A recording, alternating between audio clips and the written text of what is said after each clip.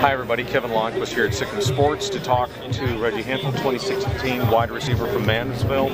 And uh, Reggie, let's talk about here at the uh, Rivals 250 Underclassmen Challenge, the idea of coming to this activity and what you hope to get out of it. Well, I hope to get a high rank.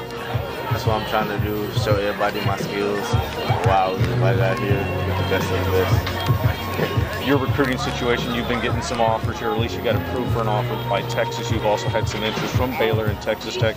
Just talk about your experience with Baylor right now, what kind of dialogue you've had with them, and you talked about going to a camp down in Cy Falls. What was that experience like? Uh, it was fun. It was hot, but it was fun.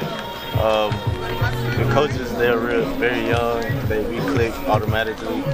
Uh, I like I like Coach Briles. You know, you talked about Kendal Briles before we went on camera with this. Just talk about the rapport that you had with him and how that how you just seemed to kind of gel with him early on. Well, when we first started off, I was with a different receivers coach, and then when we went on break, he asked me to come to his group.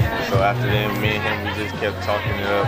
And we, he was telling me he routes, and he expected a lot from me, and I showed him I can do it. This is a long way to go in your recruiting process. You got a couple years to go. Can you just talk about how you're using these next couple of years to try and evaluate whenever you start getting offers and start taking some business? How are you playing your recruiting right now? Right now, I'm just focused on football. I'm not focused about the office. The offers will come, as my mom said.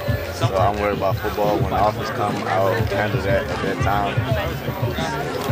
All right. I appreciate your time, Reggie. Good luck today, okay?